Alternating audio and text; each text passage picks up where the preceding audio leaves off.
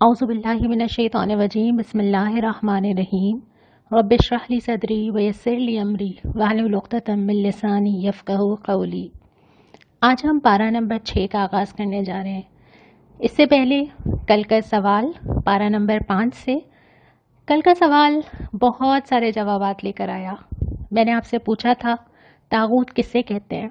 اور وہ کون سی چیز ہے جس کو ہم اللہ کو چھوڑ کے ماننے لگتے ہیں یا بندگی کرنے لگتے ہیں؟ تاغوت کے لیے تو میں نے کل بھی یہ بات کی تھی اور میں دہرا دیتی ہوں، آپ نے بھی ٹھیک کہا، ہر وہ چیز جسے اللہ کے مقابل لا کے کھڑا کر دیا جائے اور پھر اللہ کو چھوڑ کے اس کی مانی جائے، وہ تاغوت کہلاتا ہے۔ میں نے آپ سے یہ بھی پوچھا تھا کہ ہم سب کی زندگیوں میں کون کون سے تاغوت ہیں؟ بہت سارے جوابات، بہت سارے پہلو سوچ کے سامنے آئے۔ لیکن جو چار بڑی چیزیں ہیں، جو سب سے زیادہ کثرت سے آتی ہیں، ان چار بڑی چیزوں میں سب سے پہلے ہمارا اپنا نفس۔ اس زمین پہ سب سے زیادہ بندگی جس چیز کی کی جاتی ہے وہ انسان کا اپنا نفس ہے۔ میری مرضی، میری پسند، ممکن ہے میں یہ مانتی نہ ہوں۔ ممکن ہے کہ میں دوسرے لوگوں کو کہتی ہوں۔ یہ بھی ہو سکتا ہے کہ میں اپنی زندگی کی بہت ساری چیزوں کی ذمہ دار بہت سارے لوگوں کو ٹھہراتی ہوں۔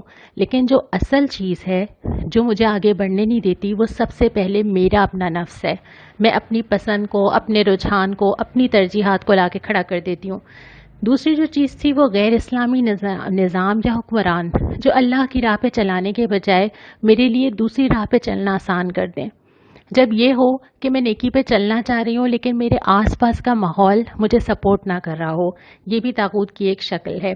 اس کے بعد یہ کہ زمانہ یا لوگ یا باوجداد یا رشتہ دار یا خاندان، کوئی کیا کہے گا، کوئی کیا چاہتا ہے، یہ ساری چیزیں بھی تاغوت بن کر ہمارے سامنے کھڑی ہو جاتی ہیں۔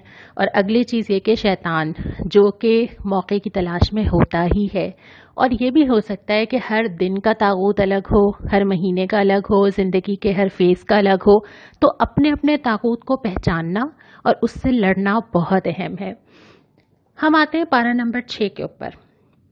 پارا نمبر چھ کی جو پہلی ہی آیت ہے کہ اللہ نہیں پسند کرتا کہ آدمی بدگوئی پہ زبان کھولے اللہ یہ کہ وہ حق پر ہو۔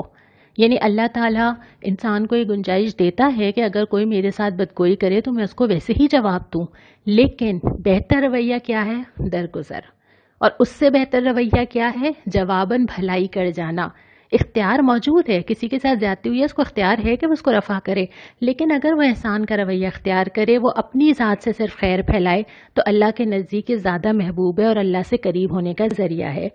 اس کے بعد ایک نقطہ بتایا گیا کہ کفر اور ایمان کے درمیان کی راہ نکالنا، یہ ممکن نہیں ہے۔ یا تو انسان کافر ہے، یا تو انسان مومن ہے۔ اور اگر وہ دونوں چیزوں کے درمیان کچھ یہاں سے، کچھ وہاں سے لیتا ہے، تو یا تو وہ کفر سے قریب چلا جاتا ہے یا وہ نفاق کے قریب چلا جاتا ہے۔ کیونکہ اسلام تو نام ہی اس چیز کا ہے کہ اپنے آپ کو مکمل طور پہ سپرد کر دیا جائے۔ تو اپنی زندگی کا کچھ حصہ اللہ کے اطاعت سے بچا لینا مومن کا کام نہیں ہے۔ یہ بھی فرمایا گیا جو ہم نے پہلے سے پارے میں بھی یہ بات پڑھی تھی کہ اللہ تعالیٰ دلوں پہ ٹھپا لگا دیا کرتا ہے۔ اور بنی اسرائیل سے جو اللہ تعالیٰ نے امامت کا منصب لیا، وہ پہ در پہ سازشیں، پہ در پہ انکار، بار بار ایسی باتیں کرنا، تو اللہ تعالیٰ نے پھر آخر میں ان سے مایوس ہو کے ان کے دل پہ ٹھپا لگا دیا، جس سے مجھے اور آپ کو خبردار رہنا چاہیے۔ ہم نے کل یہ بھی پڑھا تھا کہ جب بندہ توبہ کے بعد بار بار غلطیاں کرتا ہے، تو پھر اللہ اس کا موقع چھین لیتا ہے، یا جب بندے کے ہدایت دی جاتی ہے اور وہ ہدایت پہ ریئیکٹ نہیں کرتا یا ہدایت کو خوش دلی سے قبول نہیں کرتا، تو اللہ تعالیٰ پھر وہ ذریعہ بھی اس سے لے لیتا ہے۔ پھر یہ فرمایا کہ تمام انبیاء، بہت سارے انبیاء کا نام لیا اور یہ بتایا کہ وہ سارے کے سارے ایک ہی کام لے کر آئے تھے، اللہ کی طرف بلانا۔ اور یہی کام ہمیں بھی کرنا ہے۔ جو اللہ کے نبی صلی اللہ علیہ وسلم کے بعد ہم سے کہا گیا، ہم اس سے پہلے پڑھ چکے ہیں کہ تم وہ بہترین امت ہو جسے نیکی کا حکم دینا ہے اور برائی سے روکنا ہے۔ تو یہ کام ہمیں بھی کرنا ہے تاکہ لوگ ہمارے خلاف حجت نہ دیں۔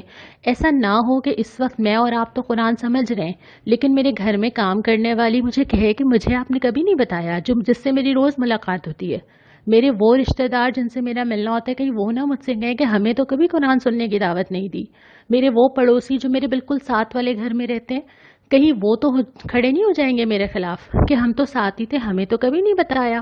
تو ایسا نہ ہو کہ کوئی ایسا شخص ہو جو قیامت کے دن میرے خلاف کھڑا ہو جائے اور مجھے حجت کے طور پہ پیش کرے کہ اس نے مجھے نہیں بتایا تھا۔ تو اس وجہ سے ضروری ہے کہ جتنے بھی لوگوں کو میں جانتی ہوں، میرا رابطہ ہے، میرے کانٹیکٹس ہیں، ان سب تک میں جو نیکی مجھ تک پہنچی ہے، میں آگے پہنچانے والی بن جاؤں۔ اور یہی کام انبیاء نے بھی کیا تھا نا۔ ہر دائرے میں لوگوں کو پکارا تھا۔ اس کے بعد ایک اور ہدایت یہ فرمائی گئی کہ دیکھو، دین میں غلو نہ کرنا۔ یہ ٹاپک دوبارہ آگے آئے گا، ہم وہاں پہ بات کریں گے کہ غلو کیا ہوتا ہے۔ اس کے بعد قرآن ایک دلیل روشن۔ یعنی جو قرآن تمہیں دیا گیا، یہ تمہیں ہر قسم کی ہدایت دینے کے لیے موجود ہے اور تمہارے لیے بہت بڑی رحمت ہے۔ اور واقعتاً ابھی ہم جب قرآن پڑھ رہے ہیں تو ابھی تو ہم بہت مختصر پڑھ رہے ہیں، لیکن ہر آیت ایک نیا ہی مطلب سکھاتی ہے۔ ہر آیت بار بار ایسا لگتا ہے کہ میری ہی زندگی کے اوپر تبصرہ کر رہی ہے۔ اور اس کے بعد بہت پیار سے فرمایا کہ جو اللہ کی پناہ میں آنا چاہے گا زندگی کے کسی فیز میں، کسی مومنٹ میں، کسی وقت پہ جو اللہ کی پناہ میں آنا چاہے گا، اللہ اس کو اپنی رحمت اور فضل کے دامن میں لے لے گا۔ جیسے مائیں سمیٹ لیتی ہے نا، اللہ تعالیٰ تو موجود ہے۔ جب انسان پلٹے گا، اللہ اس کو نہ صرف اپنے دامن میں لے گا، بلکہ اللہ اس کے لیے ہدایت پہ چلنا آسان بھی کرے گا۔ لیکن شرط یہ ہوگی کہ فرسٹ اسٹیپ خود لینا ہوگا، آنا ہوگا، پلٹنا ہوگا۔ اللہ کے پاس آنا ہوگا، اللہ سے مانگنا ہوگا۔ پھر اللہ تعالیٰ چیزیں جیسے آسان کرے گا کہ انسان حیران رہ جائے گا۔ اس کے بعد ہم آتے ہیں پارہ نمبر چھ کے دوسرے ربا پہ۔ یہاں سے سورہ معدہ وہی بھی مدنی ہی صورت ہے اور اس میں بھی بہت سارے احکامات آ رہے ہیں۔ سورہ معدہ سے ہم آغاز کرتے ہیں۔ پہلی ہی آیت، کیونکہ اس صورت میں بہت سارے احکامات کا ذکر ہے، تو پہلی ہی آیت ہے، بندشوں کی پوری پابندی کرو۔ وہ چیزیں جو دین حلال و حرام کی تمہیں بتاتا ہے، جو قاعدے بتاتا ہے، جو سزائیں بتاتا ہے، جو احکامات بناتا ہے، ان کو پورا پورا فالو کرنا ہے۔ تبھی تم وہ خیر پا سکو گے جو دین لے کر آیا ہے۔ اگلا نقطہ یہ کہ خدا پرستی کے شاعر کو بے حرمت نہ کرو۔ ہر دین کے شاعر ہیں۔ کرسچنس کا ایک الگ شاعر ہے جو کہ سلیب کی شکل میں ہوتا ہے، سکھ کے خاص قسم کی پگڑی ہے جس کو دیکھ کے سمجھ آ جاتا ہے۔ بہت سارے مذاہب ایسے ہیں کہ آپ صرف دیکھ کے سمجھ آتے ہیں کہ اچھا اس مذہب سے تعلق ہے، یہ ان کے شاعر ہیں۔ تو نہ ہم کسی کے شاعر کو بے حرمت کریں، نہ کوئی ہمارے شاعر کو بے حرمت کرے۔ تو اس میں اس بات کا خیال رکھنا بہت ضروری ہے کہ ہم دوسروں کے مذہبی عقائد کا بھی احترام کرنے والے ہوں۔ اور اس کے ساتھ ساتھ جو اسلام کے شاعر ہیں، بحیثیت مسلمان، ہم ان کی حرمت کو قائم رکھیں۔ وہ چیزیں جن کو دیکھ کے پتہ چلتا ہے کہ یہ کسی مسلمان سے منسوب ہیں یا اس کا اسلام سے تعلق ہے۔ آج کا یہ سوال میں آپ کے اوپر چھوڑتی ہوں۔ آپ مجھے بتائیے، ہمارے مذہب کے شاعر کیا ہیں؟ وہ کون سی چیزیں ہیں جسے ہم اسلام کا شاعر یا اسلام کی نشانی کہہ سکتے ہیں اور اس کی ہمیں حرمت کا خیال رکھنا چاہیے؟ یہ جواب آپ مجھے میرے ای میل پہ بھیجیں گے۔ کل ہم ان شاء اللہ تعالیٰ اس کا جائزہ لیں گے۔ واپس آ جاتے ہیں ہم پارہ نمبر چھ کے دوسرے ربا کے اوپر۔ اس کے بعد اللہ تعالیٰ نے جو چیز حرام کی ہے ایک تو کھانے پینے کی اشیاء کا خیال رکھا گیا ہے کہ جو جانور ذبح کرو وہ کس طرح کا ہو اور کس طرح کا نہ ہو۔ لیکن ایک اور چیز یہ ہے کہ پانسوں سے قسمت معلوم نہ کرو۔ یعنی کوئی بھی ایسا شارٹ کٹ یا کوئی بھی ایسا چیز کہ اتفاقی بنیاد پہ آپ اپنی زندگی کا رخ چینج کر دیں۔ آگے کیا ہوگا؟ زندگی میں کیا ہونے والا ہے؟ ایسے کسی طوطے سے فال نکلوا لینا، کسی آدمی سے معلوم کر لینا، کسی چاند اور تاروں سے نکلوا لینا، ایسی ساری صورتوں کو منع کر دیا گیا کہ قسمت کا کسی بھی ایسے ذریعے سے معلوم کرنا جو یقینی نہیں ہے، یہ تمام چیزیں حرام ہیں۔ اس کے بعد خوشخبری دی گئی کہ آج ہم نے تمہارے لیے تمہارا دین مکمل کر دیا۔ یہ نبی کریم صلی اللہ علیہ وسلم پہ آیت آئی تھی جب اسلامی حکومت قائم ہو چکی تھی، حجت الوداع پہ موجود تھے، قرآن نازل ہو چکا تھا۔ تو اللہ تعالیٰ نے یہ خوشخبری دی تھی کہ ہم نے تمہیں مکمل دین دے دیا ہے۔ اب تمہیں مزید کسی ہدایت کی، کسی پہلو پہ رہنمائی کی ضرورت نہیں ہے اور یہ مکمل دین قرآن کی شکل میں ہمارے پاس ہے۔ اس کے بعد وضو اور غسل کا حکم آتا ہے کہ اس کو اہتمام کیا جائے۔ اور ایک اور جملہ آتا ہے کہ عدل جو ہے وہ تقوی سے قریب کرنے والی بات ہے۔ یعنی انسان اپنی ذاتی زندگی میں بھی اور اجتماعی معاملات میں بھی اور معاشرے میں بھی جتنا عدل ہوگا۔ جتنی چیزیں بیلنس ہوں گی، انصاف پر ہوں گی، اتنا لوگ اللہ تعالیٰ سے زیادہ قریب ہو جائیں گے۔ اور پھر بنی اسرائیل کا ایک رویہ بتایا کہ جب دین کے غلبے کے لیے ضرورت تھی، نبی پکار رہا تھا، تو وہ کیا کہہ رہے تھے؟ تم جا کے لڑو، ہم بیٹھے ہیں۔ یعنی جب اللہ کے دین کو ضرورت ہے اور اللہ کا دین غالب نظر نہیں آ رہا، ابھی تو ہم نے بہت مختصر سا جائزہ لیا ہے قرآن کا، لیکن جب ہم پورا قرآن پڑھیں گے تو ہمیں اندازہ ہوگا کہ ہماری زندگی کا بہت بڑا حصہ قرآن کی تعلیمات کے اکارڈنگ نہیں ہے۔ تو اگر دین غالب نہیں ہے اور دین کو ضرورت ہے اور حضور صلی اللہ علیہ وسلم نے بشارت دی اس شخص کے لیے جو اس وقت سنت کو زندہ کرے گا جب سنتیں مٹ چکی ہوں گی، تو اس وقت کوئی شخص یہ کہے کہ میں بیٹھی ہوں، کوئی اور کر لے۔ کوئی جائے اور اسلام لے آئے، کوئی جائے اور ہدایت کر دے۔ یہ رویہ دین سے محبت کرنے والوں کا نہیں ہوتا۔ تو یہاں پہ اس کا ذکر کیا گیا۔ تیسرا جو ربا ہے تیسرا ربا بنیادی طور پہ انسانی جان کی حرمت کے بارے میں۔ پہلے آدم کے دو بیٹوں کا قصہ ہے اور اس کے بعد یہ فرمایا کہ ایک انسان کو قتل کرنا گویا پوری انسانیت کو قتل کرنا ہے۔ اور اسی پہ قیاس کر کے ایک انسان کی جان بچانا گویا پوری انسانیت کی جان بچانا ہے۔ اور اسی وجہ سے پھر ہدایت کی گئی کہ زمین پہ کوئی فساد نہ پھیلائے اور اگر کوئی پھیلائے تو اس کو سخت سے سخت سزا دی جائے۔ پھر اللہ تعالیٰ نے فلاح کے تین راستے بتائے ہیں کہ امید ہے کہ تم فلاح پالو گے اگر نمبر ایک، اللہ کا خوف رکھتے ہو، اللہ کا تقوی رکھتے ہو۔ نمبر دو، اللہ سے قریب ہونے کے راستے تلاش کرو۔ اور یہ بہت سارے راستے قرآن میں ہیں۔ اس میں قیام اللیل ہے، اس میں عبادات ہیں، اس میں دعا ہے، اس میں انفاق ہے۔ خاموشی سے کی جانے والی نیکیاں ہیں۔ اور اس کے بعد اللہ کی راہ میں جد و جہد کرو۔ اللہ کے دین کو قائم کرنے کے لیے اپنے جان، اپنا مال، اپنا وقت، اپنی صلاحیت سب چیزیں اللہ کے لیے لگاؤ۔ اس کے بعد پھر سزائیں شروع ہوتی ہیں۔ سب سے پہلے تو چور کی سزا آتی ہے کہ ہاتھ کاٹے جائیں۔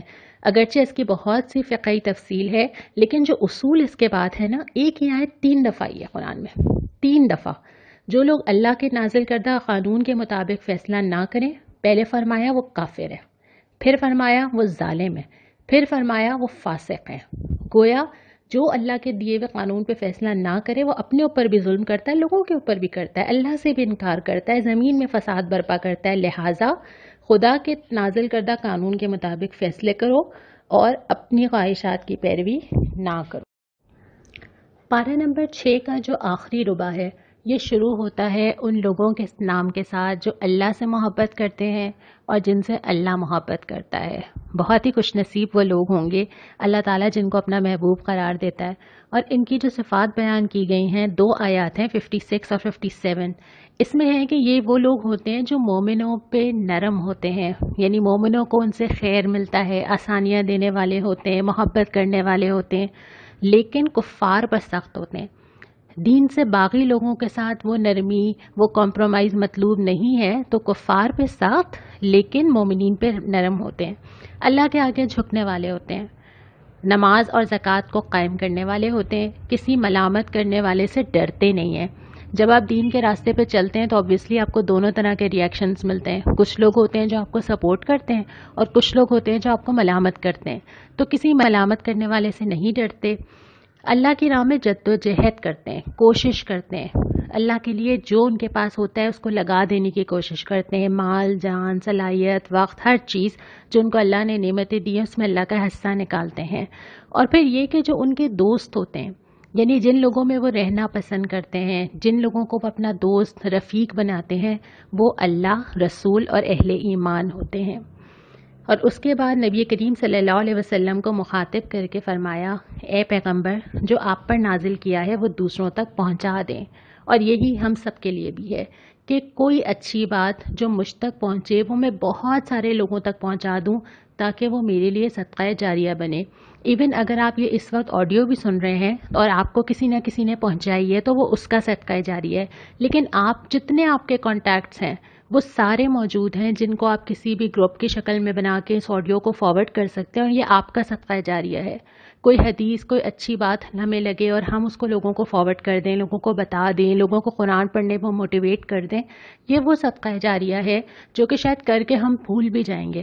لیکن جب اللہ تعالیٰ نیکیاں نکال کے لائے گا نا، تو یہ چھوٹی چھوٹی چھوٹی نیکیاں اور ہم نے کسی کو بتایا، اس نے کسی اور کو بتایا، تو یہ ایسے ملٹیپلائی ہو کے واپس آئیں گی جس وقت ہمیں اس کی ضرورت ہوگی کہ ہم خود حیران ہو جائیں گے۔ تو کسی بھی نیکی کو چھوٹا نہ سمجھا جائے اور جو نیکی، جو اچھی بات پہنچے وہ بھلائی ضرور دوسروں کو دی جائے۔ اور آخر میں دو چیزوں کا ذکر ہے کہ دین سے گمراہ ہونے میں یا راستے سے ہٹ جانے میں دو بڑے فیکٹرز ہو سکتے ہیں۔ پہلا یہ ہوتا ہے کہ آپ دین میں غلو کر جائیں۔ غلو یہ ہوتا ہے کہ کسی چیز کی پلیسنگ کو غلط کر دینا۔ جو حلال ہے اس کو حرام کر دیا، جو حرام ہے اس کو حلال کر دیا۔ جو چھوٹی سی چیز تھی اس کو اتنا بڑا بنا دیا اور جو بڑے بڑے گناہ تھے ان کو اتنا ہلکا کر دیا۔ یہ ساری چیزیں جو ہیں، یہ دین کو عدل سے ہٹانا ہے۔ یعنی کسی بھی چیز کو ہم اتنا زیادہ بڑھا لیں۔ اسی طرح اللہ کے نبی صلی اللہ علیہ وسلم سے محبت کو بھی۔ جہاں پہ یہ ذکر آیا ہے، وہاں پہ حضرت عیسیٰ ابن مریم کو خدا کا بیٹا بنانے کا ذکر ہے کہ لوگوں نے محبت میں کیا نا؟ نبی سے محبت ہی تھی نا۔ لیکن اس نے ان کو کس درجے کے شرک تک پہنچا دیا؟ تو جو مطلوب ہے وہ اللہ کے دین سے محبت ہے، اللہ کے نبی کی لائی ہوئی کتاب سے محبت ہے، اللہ کے نبی صلی اللہ علیہ وسلم کے دیے ہوئے نظام سے محبت ہے اور آپ صلی اللہ علیہ وسلم کی سنت سے محبت ہے۔ نہ کہ وہ شکلیں جو محبت کے نام پر ہم بنا لیتے ہیں۔ اور دوسری بات یہ کہ دوسروں کی پیروی۔ بہت سارے لوگوں کو آئیڈیل بنانے کے بجائے ان شخصیات کو آئیڈیل بنایا جائے جن کو اللہ تعالیٰ نے رول ماڈل کے طور پہ پیش کیا ہے، حضرت ابراہیم کو کیا ہے، نبی کریم صلی اللہ علیہ وسلم کو کیا ہے، حضرت آسیہ کو کیا ہے اور بہت سارے لوگوں کو قرآن میں کیا ہے۔ تو لوگوں کی بات ماننے میں اور لوگوں کی پیروی کرنے میں انسان بہت اس بات کا خطرہ ہے کہ سیدھی راہ سے ہٹ جائے۔ تو ان دونوں چیزوں کا اہتمام کرنا ہے کہ ہمارے اندر یہ دو چیزیں نہ آئیں اور آخر میں سورہ معدہ ہی کی ایک چھوٹی سی آیت ہے جو آپ کو بہت آسانی سے دعا یاد ہو جائے گی۔ آیت نمبر ایٹی تھری کے اندر ہے، ربنا آمنا فاکتبنا مع الشاہدین۔ باخر دعوانا ان الحمد للہ رب العالمین